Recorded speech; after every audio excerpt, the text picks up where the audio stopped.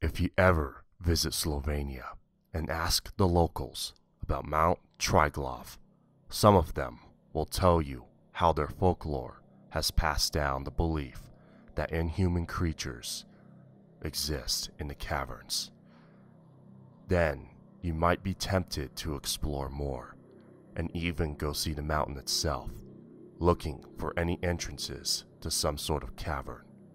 Perhaps you will find one enter. You might not be prepared for such an expedition, but you will go on nevertheless. The cave may go on for a while, and you may reach what seems to be a massive pool of water. Perhaps you will step into this pool, and perhaps you'll be swept away by a sudden and unnatural current. You will have no doubt panicked at this point as you're pulled into the subterranean waters. Your breath will run out and the world will go black. And then you will feel soft, webbed hands gripping your body. Perhaps then you will open your eyes in shock and witness a mass of long, white snake like bodies around you. You might even see their webbed hands and feet, and maybe even the reptilian faces with massive, monotonous silver eyes and purple gills that extend like fans from their necks. You will have no doubt wished to escape by now, or perhaps you'll disbelieve this. Sooner or later, your consciousness will once again fade, and then you will wake up. But you are no longer in the nightmarish realm. You'll shrug it off as a hallucination, a bout of madness, a nightmare.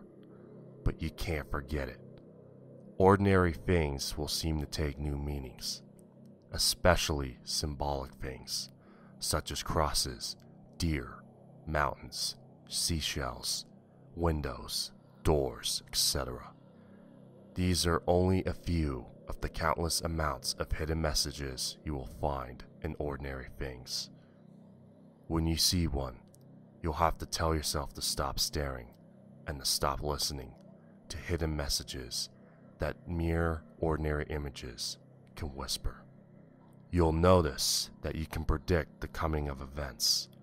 First, they will be incomprehensible prophetic dreams. Then you'll see flashes of what's to come in broad daylight. Finally, you will learn how to control these abilities. You can become rich, powerful, and famous this way, and you will know that there are people who have used these abilities to do so. But every time you peek to the future, you will feel the ever strengthening call of the caves. You'll feel the hands on your body again. The symbols will become more and more of an obsession.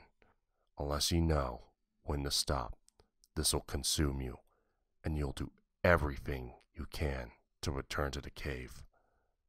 I don't know what happens afterwards.